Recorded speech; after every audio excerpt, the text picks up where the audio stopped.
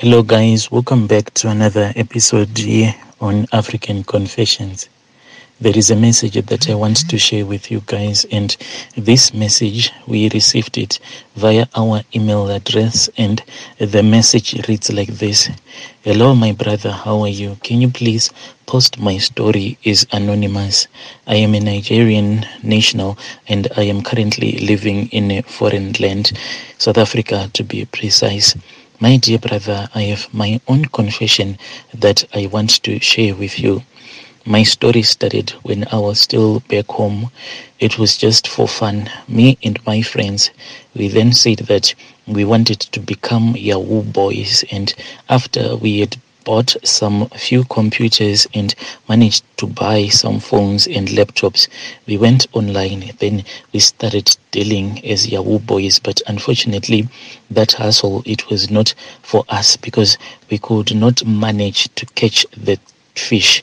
So after we had seen that this hustle was not for us, that was when one amongst our friends said that we needed to go and visit a voodoo priest. Maybe our things were going to go according to plan. So me and my friends, we then went and when we went to this other shrine, we were told that we were su- supposed to be washed inside a river. And the way that we were going to be washed is that each and every one of us had to bring their own chicken. It was supposed to be a white chicken to be precise. So we went back and we then bought the chicken and we returned back to that shrine.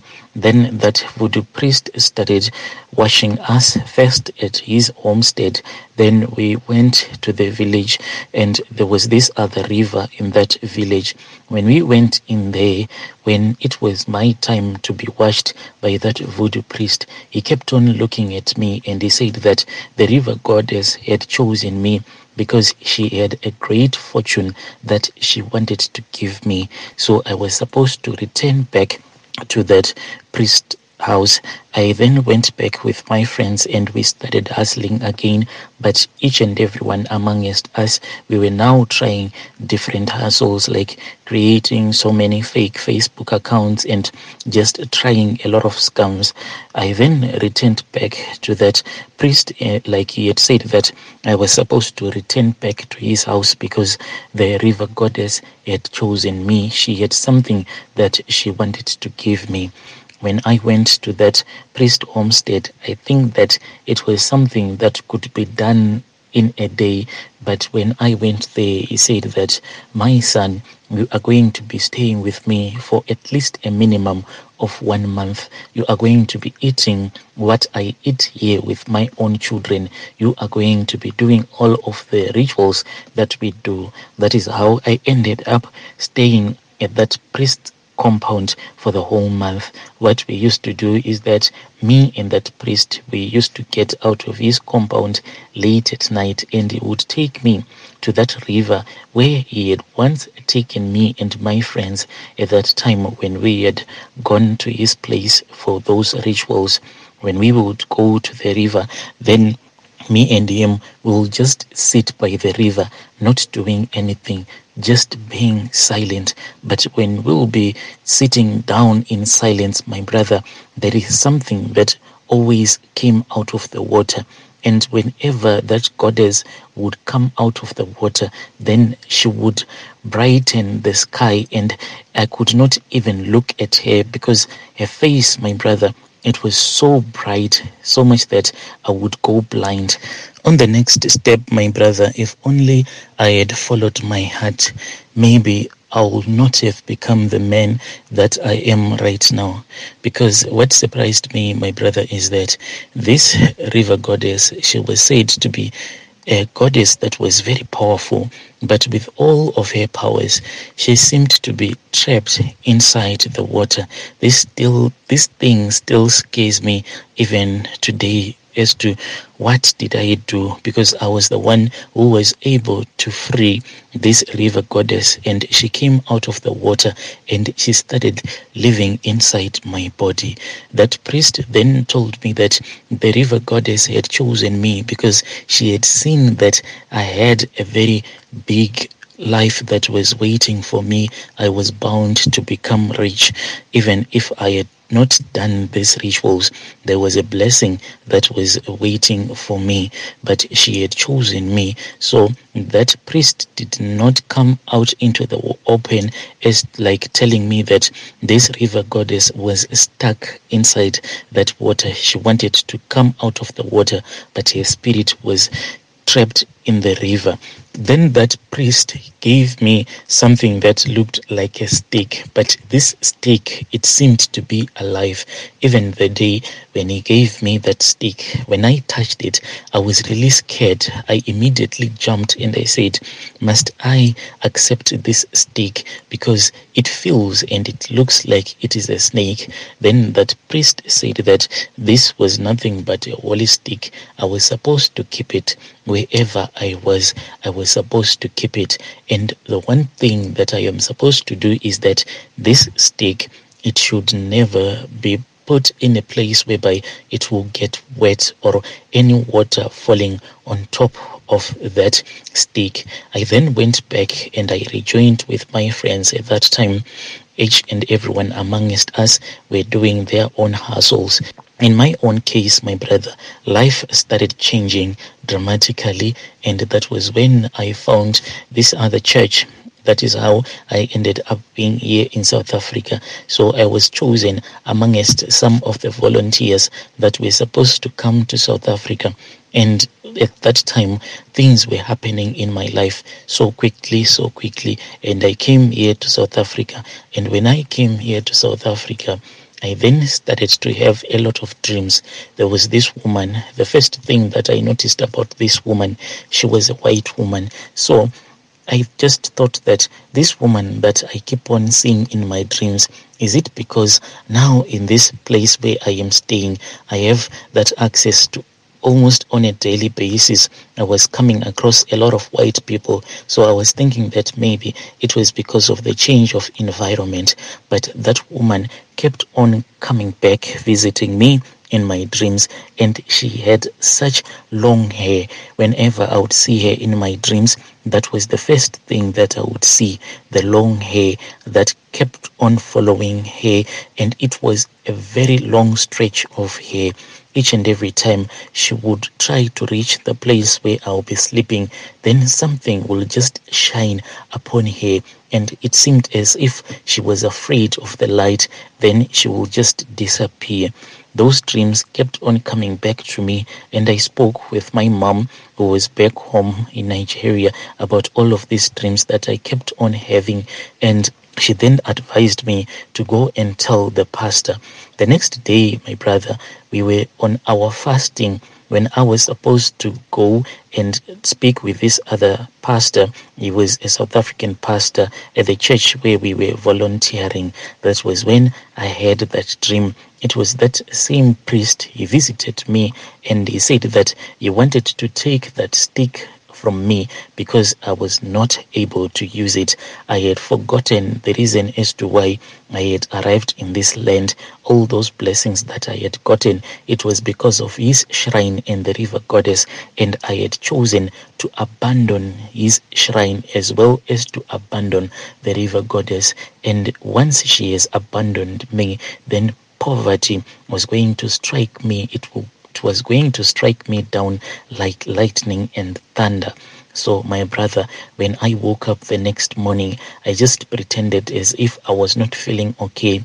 I avoided at all costs to remind the pastor that he was supposed to pray for me, like I had told him the previous night. From there on, that was when that woman, the one that was a white woman who had such long hair, she then had the power to come to the place where I was sleeping. Sometimes she will just sleep right next to me. When I'll be in my dreams, having those dreams, it will seem as if those things they were happening in reality.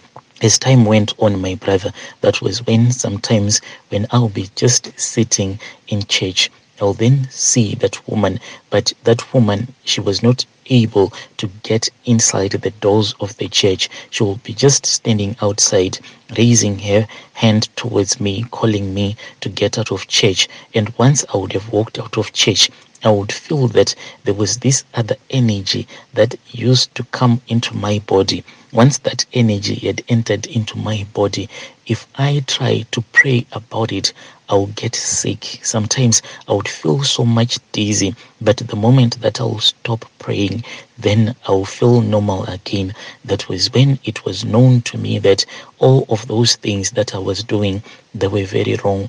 I cannot serve two masters. The master that had brought me into South Africa was the one that I was supposed to serve and she was waiting for me to start serving her so that she can give me the blessings. So, my brother, I started to listen to her whenever she would come into my dreams. That was when I saw that the stick that had been given to me by that priest, indeed, it was a snake it is a python, my brother. It is not a very big python. It is just a small python.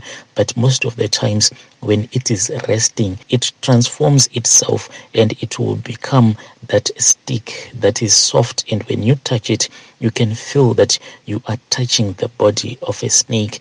But this stick, when you look at it, it is just like a normal stick. That was when that river goddess started teaching me. And then she made a request to me. At that time, when she made the request to me, at that time, I still remember that I was changing 1 million naira to 16,000 rands. So this is the money that I used to give to the slay queens that I used to sleep with. What would happen is that I would go out clubbing and after I had gone out clubbing, then I would pick up some local South African girls, you know, those ones that always chase after money, and I will represent the money to them. But this money, when they'll be looking at it, they will think that the money will be in their own currency. But this money that I'll be giving to them, the money will be in the Naira currency. And by the time that this girl that I'll be dating will try to do something meaningful with that money, then she will start to wonder as to where the money had gone to. She could not use the money for anything that will be meaningful, and she will end up coming back to me even though when she would come back to me, she will always say, What happens to me every time that I am with you? I always forget my underwears in your house. This is what happens to me. Any woman that I date, my brother, she will end up leaving her underwears with me and her underwears they won't be the clean ones but the dirty ones so let's say if I spend a week with her, when she comes from her house, obviously she'll be having like three underways as a woman who is going to be spending some time with her men. And once she have arrived at my place, she will then say that when I am about to go, that is when I am going to wash up all of my clothes and my underwears, and she will forget her underwears. And after she is gone, that was when that is when that python will come out and it will start leaking all of those items that would have been left behind by the woman that I'll be dating at that time. And if it happens that it is an emergency, like if I just pick up one of those girls, they call them the slay queens, and when I take her to my place, when she will be fast asleep, that is when that stick will transform itself and it will become something like a snake. Then that snake will start to leak all over that slay queen's body. But usually it targets the private area. And as, as that snake will be busy licking the private area, that snake, what it will be doing is that it will be removing some fluids from the uterus. That is why a lot of women that I have dated, after they have dated me, they will start to have problems whereby they will not be able to have children because when this snake will be busy licking them, it will be removing some essential fluids from their body. those fluids that make it to be possible so that they can conceive. My brother, all of these things that I did and everything that I am still doing right now on my mind, it leaves a very bad memory. I don't know how I can wrap this thing from my consciousness, but whenever I try to pray, I once visited this other South African pastor, but I didn't come out into the open. I just said that I was tired of the way that I was living my life, and he seems to be an understanding man and he didn't want to question me a lot. Me and him, we were having a private session after he had given me some counseling, that was when he said that, My son, all that I want to tell you is that I want you to say that this dark energy that is living inside my body, it should leave my body right now. That sentence, my brother, it failed to come out of my mouth each and every time when I would say this dark energy that is inside my body, I want it to then it will be like there was someone that was closing my mouth. I felt we had a prayer session, me and that pastor, but no matter how hard he would try to force me to say that prayer, I could not say that prayer. And the more that we tried, the more that I went violent. And I then pulled out some cash and I said, If you want this money, just take it. And I walked out of his office. But he followed me to my car and he said, My son, I cannot accept your money, for I know where it comes from. That is when I left that church and I had to move out of that location because that man, I think that he is the only one here in South Africa that has the knowledge that I am a ritualist. I then moved out of that community and I started staying in another area and it is a very private secure rich neighborhood so I just do all of my rituals without anyone ever noticing that this is what I do. The only thing that they think about me, they just think that I am a player because I bring a lot of women, but all of these women that I date, it is because I need to survive. These are the words that she whispered to me. She said that soldiers are but plenty. If you have grown weary and tired for fighting for my battles, then I can raise up one like you and I can take my blessings from you and I can give that one that I would have risen those blessings. Yeah, dear listeners, right there was a message that was forwarded to me by one of our admins. We received this message via our email address. Strange things do happen in this world.